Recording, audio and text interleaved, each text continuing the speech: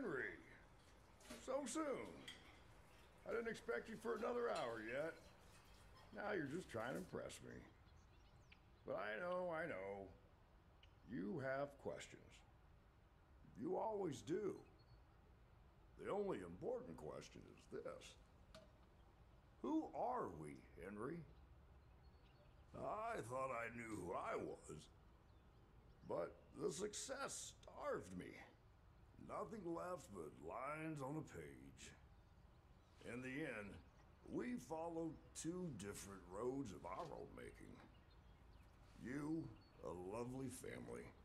Me, a crooked empire. And my road burned. I let our creations become my life. The truth is, you were always so good at pushing, old friend. Pushing me to do the right thing. You should have pushed a little harder. Henry, come visit the old workshop. There's something I need to show you.